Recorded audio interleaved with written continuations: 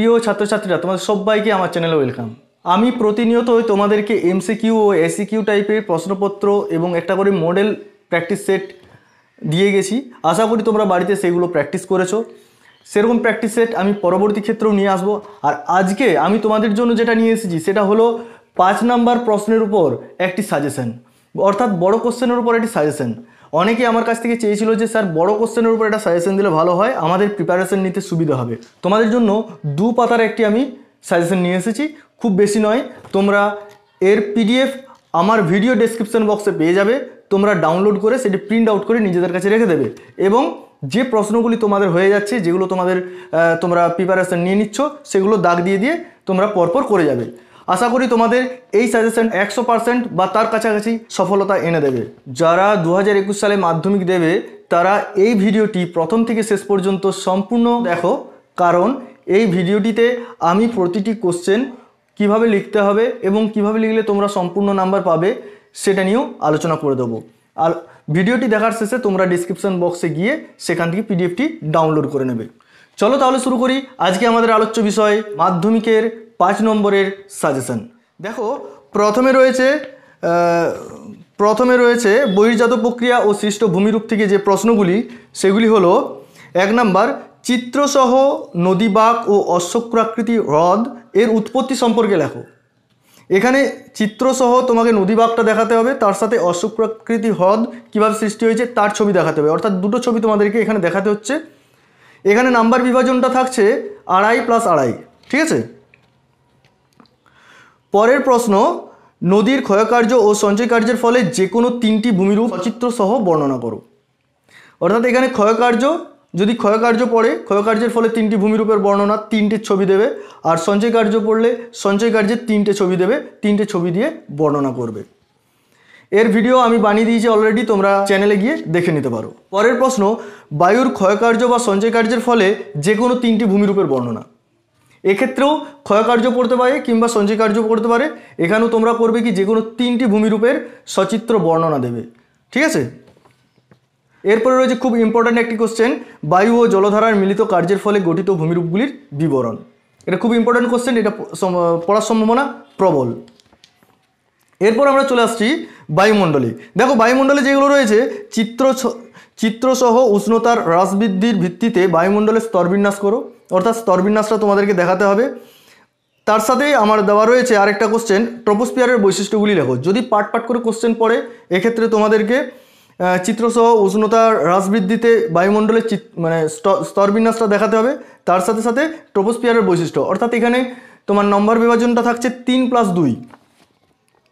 পরের প্রশ্ন, প্রাকৃতিক, পৃথিবীর প্রাকৃতিক সৌরপর্দা কাকে বলে?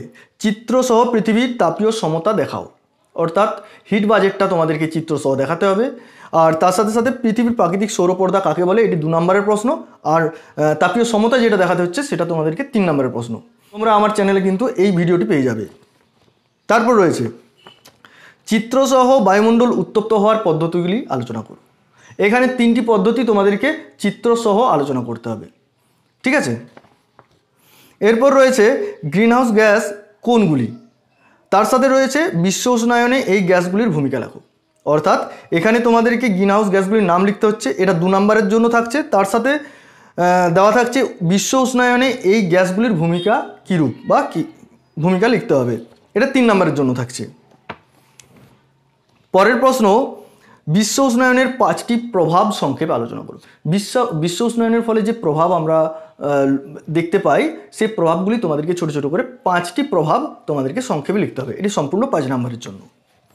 তারপর রয়েছে বায়ু প্রবাহের শ্রেণি বিভাগগুলো কী কী?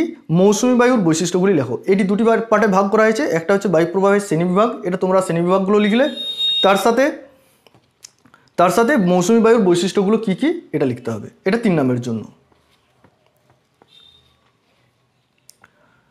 সাত নম্বর কোশ্চেন বা পরের কোশ্চেন বৃষ্টিপাতের প্রকারভেদগুলো কি কি? যে কোনো একটি প্রকারের বৃষ্টিপাত চিত্রসহ লেখো। অর্থাৎ এখানে বৃষ্টিপাত কয় ভাগে ভাগ করা যাচ্ছে? সেটা তোমাদেরকে দিতে হচ্ছে। এটার জন্য তোমাদেরকে দু নম্বরের জন্য থাকছে। দু নম্বরের জন্য বৃষ্টিপাতের শ্রেণীবিভাগ এবং যে কোনো একটি বৃষ্টিপাতের চিত্রসহ তোমাদেরকে বর্ণনা দিতে হবে। তোমাদের পছন্দ মতো। কিন্তু আমি বলব, কোনটা, যদি আবার মেনশন করে দেয় বা উল্লেখ করে করে দেয় যে শৈলতকে বৃষ্টিপাত বা পরিচলন বৃষ্টিপাত বা ঘূর্ণবাদজনিত বৃষ্টিপাত, তো এই জন্য তোমাদেরকে তিনটে বৃষ্টিপাতই করে রাখতে হবে। যে কোনো একটা পড়বে, সবগুলো করতে হবে না মানে সবগুলো পরীক্ষায় পড়বে না, যে কোনো একটা তোমাদের পড়বে। তারপরে রয়েছে পৃথিবীর বায়ুচাপ বলয়গুলির বিবরণ দাও। পৃথিবীর বায়ুচাপ বলয়গুলি, যে সাতটি যে বায়ুচাপ বলয় রয়েছে, সেই বায়ুচাপ বলয়ের ছবিটা তোমাদেরকে আঁকতে হবে এবং ডিরেকশনটা দিয়ে দিতে হবে, বায়ুর ডিরেকশন দিতে হবে। কোন কোন বায়ুচাপ বলয়গুলি কোথায় কোথায় অবস্থান করছে সেটা সেই চিত্রের মধ্যে থাকবে এবং প্রতিটি ছোট ছোট করে সংক্ষেপে আলোচনা করে দিতে হবে। ঠিক আছে? তো এইগুলো বায়ুমণ্ডল থেকে তোমরা করো, এখান থেকে তোমরা আশা করি কোশ্চেন পেয়ে যাবে। এরপর বায়ুমণ্ডল বায়ুমণ্ডল থেকে সেরকম বড় কোশ্চেন পড়ে না, আমি দুটো কোশ্চেন দিয়ে রেখেছি। এই দুটো কোশ্চেন তোমরা করে নেবে। একটা হলো বর্জ্যের প্রকারভেদগুলো কী কী? তার সাথে থাকছে যে কোনো এক প্রকার বর্জ্যের সংক্ষিপ্ত পরিচয় দাও। ঠিক আছে? তো এখানে বর্জ্যের প্রকারভেদগুলো এর জন্য থাকছে দু নাম্বার আর যে কোনো এক প্রকার বর্জ্যের সংক্ষিপ্ত বিবরণ, সেটা তোমাদেরকে করতে হবে, সেটা তিন নাম্বার থাকছে। ওটা তিন, দুই প্লাস তিন। আর দ্বিতীয় কোশ্চেন যেটা থাকছে, সেটা হচ্ছে বর্জ্য ব্যবস্থাপনায় কম্পোস্টিং ও স্ক্যাবার পদ্ধতির সংক্ষিপ্ত বিবরণ। এই দুটো পদ্ধতির বিবরণ তোমাদেরকে করতে হবে। ঠিক আছে? এরপর আমরা ভারতের প্রাকৃতিক ভূগোল ও অর্থনৈতিক ভূগোলে চলে আসব। ভারতের প্রাকৃতিক ভূগোল ও অর্থনৈতিক ভূগোল। এখান থেকে দেখে নাও যে কোশ্চেনগুলো থাকবে। খুব ইম্পর্টেন্ট কোশ্চেন তোমরা এখান থেকে করলে একদম ডেফিনেটলি কোশ্চেনগুলো পেয়ে যাবে। তাই মনোযোগ সহকারে তোমরা কিন্তু দেখো। আর বাড়িতে মনোযোগ সহকারে এই এই প্রশ্নের উত্তরগুলো করে রাখবে। প্রথম প্রশ্ন, উত্তর ভারতের নদ নদী ও দক্ষিণ ভারতের নদ নদীর মধ্যে পার্থক্য লেখো।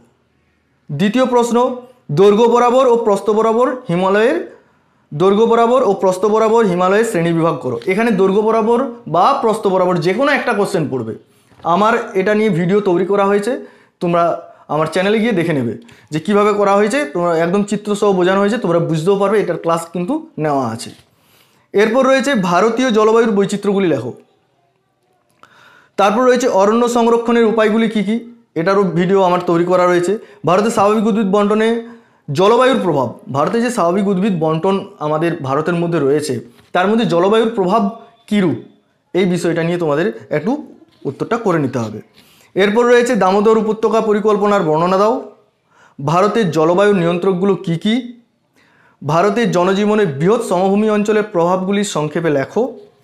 তার এই যে ভারতের জনজীবনে বৃহৎ সমভূমি অঞ্চলের প্রভাবগুলি সংক্ষেপে লেখো, এর সাথে আরেকটা কোশ্চেন ছোট্ট থাকবে, নর্মদা ও তাপ্তি পশ্চিম বাহিনী কেন? দুটো পার্টে যদি থাকে, তাহলে তিন প্লাস দুই হিসাবে নাম্বারটা থাকবে। বাকিগুলো সব পাঁচ নাম্বারের আগে যেগুলো বললাম, সেগুলো সব পাঁচ নাম্বারের জন্য। এরপর চলে আসছি পরের প্রশ্নে। এরপর চলে আসছি পরের প্রশ্নে। ভারতীয় জলবায়ুতে উষ্ণতা ও বৃষ্টিপাত বৈচিত্র্যপূর্ণ কেন? ঠিক আছে? এই প্রশ্নটির সাথে, এই প্রশ্নটির সাথে আরেকটি প্রশ্ন দেওয়া থাকবে, সেটা হলো ভারতের স্বাভাবিক উদ্ভিদ মৌসুমি বৃষ্টিপাত দ্বারা কতখানি নিয়ন্ত্রিত? দেখো, এই ধরনের একটু ঘুরিয়ে কোশ্চেন দেবে, তো তোমরা আগে থেকে এই কোশ্চেনগুলো নিয়ে প্রস্তুত হয়ে যাও। এটা আড়াই প্লাস আড়াই, যদি দিয়ে দেয়, কখনো তিন প্লাস দুই বা দিতে পারে, ঠিক আছে? তোমরা এটা করে নেবে। এরপরে রয়েছে খারিফ শস্য কি? তার সাথে থাকছে ভারতের গম চাষের অনুকূল ভৌগোলিক অবস্থার পরিচয় দাও। এটাও দুই প্লাস তিন একসাথে কোশ্চেনটা থাকবে। তারপর রয়েছে পরের কোশ্চেন ভারতের পাঞ্জাব হরিয়ানা অঞ্চল কৃষিকাজে উন্নত কেন? আমরা জানি পাঞ্জাব এবং হরিয়ানা ভারতের কৃষিকাজে উন্নত। তো এর কারণগুলো তোমাদেরকে লিখতে হবে। পরের কোশ্চেন এই ধরনের কোশ্চেন পড়তে পারে, দেখো, এটা ভালো একটা কোশ্চেন আদমশুমারি কি? এক নম্বরের জন্য পড়বে এবং তার সাথে যে কোশ্চেনটা দেওয়া থাকবে, ভারতের জনগণের ভারতের জনগণের তারতম্যের প্রাকৃতিক কারণগুলো কী কী? দেখো, আমাদের ভারতে বিভিন্ন স্থানে জনসংখ্যার বিভিন্নতা বিভিন্ন বিভিন্ন রকম। কেননা কোথাও বেশি, কোথাও কম। সেটা কেন হয়েছে? প্রাকৃতিক প্রভাব কতটা? প্রাকৃতিক প্রভাব কীরূপ সেই বিষয়টা নিয়ে তোমাদেরকে এখানে তুলে ধরতে হবে। তাহলে আদমশুমারি কি? এটার জন্য থাকছে এক নাম্বার এবং বাকি প্রশ্নটার জন্য থাকছে চার নাম্বার। টোটাল পাঁচ নাম্বার। তারপরে চলে আসছি অপরিকল্পিত নগরায়ন বলতে কি বোঝো? অপরিকল্পিত নগরায়ন বলতে কি বোঝো? এটা থাকছে তোমাদের আড়াই নাম্বার এবং তার সাথে যে কোশ্চেনটা থাকছে সেটা হলো যোগাযোগের মাধ্যম হিসেবে সেলফোনের গুরুত্ব। আজকের দিনে আমাদের সেলফোন কতটা গুরুত্ব, সেই গুরুত্ব বোঝাতে তোমাদেরকে কিন্তু এই কোশ্চেনটা করতে হবে। পরের কোশ্চেন, পশ্চিম ভারতের কার্পাস বয়ন শিল্পের কেন্দ্রীভবনের কারণগুলো কী কী? এই কোশ্চেনটাও রয়েছে। এছাড়াও রয়েছে মানে ওটা পাঁচ নম্বরের জন্যই। পরের কোশ্চেন চা, কফি এবং ধান। এই তিনটেকেই করতে হবে তাদের অনুকূল ভৌগোলিক পরিবেশ। তিনটের মধ্যে একটা আসার চান্স খুব বেশি। পরের কোশ্চেন জলসেচের গুরুত্ব ও কারণ বিশ্লেষণ করো। জলসেচের গুরুত্ব ও কারণ তোমাদেরকে এখানে তুলে ধরতে হবে। পরের কোশ্চেন শহর গড়ে ওঠার কারণ অথবা নগর গড়ে ওঠার কারণ? যে কোনো একটা পড়বে। শহর গড়ে ওঠার কারণগুলো কী কী কিংবা নগর গড়ে ওঠার কারণগুলো কী কী? একসাথে দুটো কোশ্চেন পড়বে না, যে কোনো একটা পড়বে। পরের কোশ্চেন ভারতের তথ্য প্রযুক্তি শিল্পের উন্নতির কারণগুলো লেখো। বর্তমানে তথ্য প্রযুক্তি শিল্প ভীষণভাবে আমাদের অগ্রণী ভূমিকা পালন করে। তা, তার জন্য এই যে শিল্পটা, তার উন্নতির কারণগুলো আমাদেরকে দেখে নিতে হবে। এই গেল আমাদের ভারতের প্রাকৃতিক ভূগোল এবং অর্থনৈতিক ভূগোল থেকে পাঁচ নম্বরের কোশ্চেন এরপর এর সাথে যেটা থাকছে, এর পরের চ্যাপ্টার অর্থাৎ উপগ্রহ চিত্র ও ভূবৈচিত্র সূচক মানচিত্র। এখান থেকে তোমরা পাঁচ নম্বরের জন্য করো, কিন্তু এটা তিন নম্বরের জন্য পড়তে পারে। তো আমি দুটো কোশ্চেন বলে রেখেছি, দুটো নয়, তিনটে কোশ্চেন বলে রেখেছি। সেই তিনটে কোশ্চেন একটু দেখে নাও। প্রথম প্রশ্ন হচ্ছে, কৃত্রিম উপগ্রহ কী? এবং এর সাথে যে কোশ্চেনটা যুক্ত থাকছে, সেটা হলো, উপগ্রহ চিত্রের বিভিন্ন প্রকারগুলি সংক্ষেপে লেখো। এখানে দুই প্লাস তিন। এভাবে থাকছে হ্যাঁ? পরের কোশ্চেন উপগ্রহ চিত্রে যে কোনো পাঁচটির ব্যবহার তার সাথে গুরুত্ব, সংক্ষেপে লেখো। এবং সর্বশেষ কোশ্চেন যেটা থাকছে, সেটা হলো, উপগ্রহ চিত্র তোলার বিভিন্ন পর্যায়গুলি সংক্ষেপ তোমাদেরকে লিখতে হবে। এইগুলো গেল পাঁচ নাম্বারের জন্য কোশ্চেন আর তোমাদেরকে তো আমি এমসিকিউ এবং এসএ কিউ যেখানে ছত্রিশে ছত্রিশ পাওয়ার যে পাওয়ার জন্য যে প্র্যাকটিস সেট উত্তর সহ আমি ভিডিওগুলো দিয়েছি। তোমরা সেগুলো করো প্লাস এই কোশ্চেনগুলো করো। ডেফিনেটলি তোমরা একশো পার্সেন্ট বা তার কাছাকাছি নাম্বার পাবেই পাবে। আজকে এই পর্যন্তই। তোমরা দেখো তোমাদের যদি এই ভিডিওটি ভালো লেগে থাকে, তাহলে অবশ্যই একটি লাইক দিতে ভুলো না যেন। সাথে যারা আজকে প্রথম আমার চ্যানেলটি দেখছ, যারা এখনও পর্যন্ত চ্যানেলটি সাবস্ক্রাইব করোনি, তারা অবশ্যই চ্যানেলটিকে সাবস্ক্রাইব করে নাও। তার সাথে বেল আইকনটি প্রেস করে রাখো, যাতে আমি পরবর্তী ভিডিওগুলো দেওয়ার সাথে সাথে তোমরা নোটিফিকেশান পেয়ে যাও। সবাইকে আমার অসংখ্য ভালোবাসা জানিয়ে আজকের ভিডিওটি এখানে শেষ করছি। ধন্যবাদ।